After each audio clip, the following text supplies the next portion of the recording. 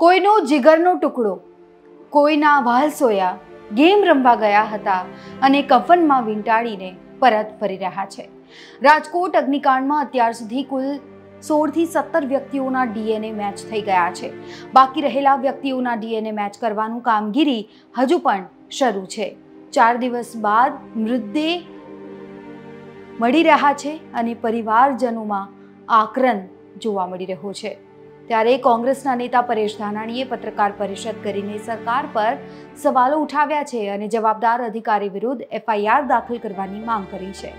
Rajkot TRP game zone અગ્નિકાંડ મુદ્દે રાજકોટ લોકસભા બેઠકના કોંગ્રેસના ઉમેદવાર પરેશ ધાનાણી અને પૂર્વ ધારાસભ્ય લલિત કગતરાએ પત્રકાર પરિષદ યોજી જેમાં જવાબદાર અધિકારીઓ સામે એફઆઈઆર દાખલ કરવામાં આવે તેવી માંગ તેઓ સતત કરી રહ્યા છે અને જવાબદાર જે પણ વ્યક્તિઓ હોય તેમના વિરુદ્ધ એફઆઈઆર નોંધવામાં આવે. પરેશ ધનાણીએ કર્યું કહ્યું છે કે ઊંચા તાપમાનના કારણે નાના ભૂલકાઓના શરીર અને અવશેષ ખાક થઈ ગયા છે.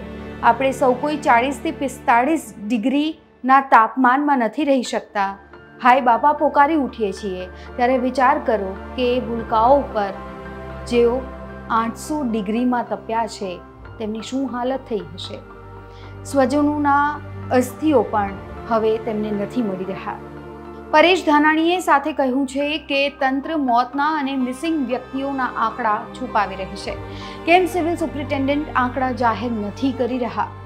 ત્રણ હજાર ડિગ્રી તાપમાન હોવાનું એસઆઈટીએ પણ સ્વીકાર્યું છે. ઊંચા તાપમાનના કારણે નાના ભૂલકાઓના શરીર અને અવશેષો પણ ખાપ થઈ ગયા છે.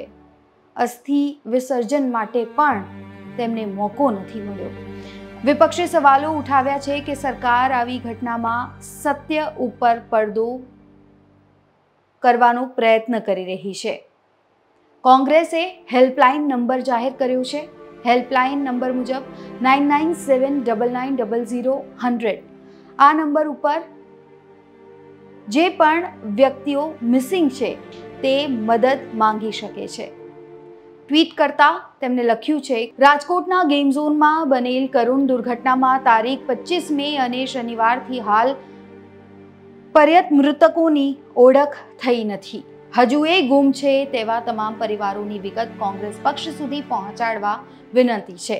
અમો આપને મદદરૂપ બનીશું. હેલ્પલાઇન ફોર મિસિંગ લાઈફ આપણે ઉનાળાની ગરમીમાં પિસ્તાળીસ ડિગ્રી ગરમીમાં પણ બહાર નીકળતા નથી અને હીટવેવની બૂમાબૂમ કરતા હોઈએ છીએ.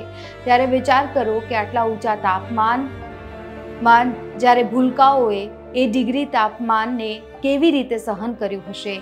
એની કલ્પના કરવી મુશ્કેલ છે હાલ તો. કેટલાક જે મૃતદેહો છે, તે બળીને ખાક થઈ ગયા છે અને તેમના પરિવારજનો હજુ પણ તેમના વાલસોયાને, તેમના પરિજનોને ગોતી રહ્યા છે. તેમની વાટે બેઠા છે. અત્યારે આ રિપોર્ટમાં બસ આટલું જ. નમસ્કાર.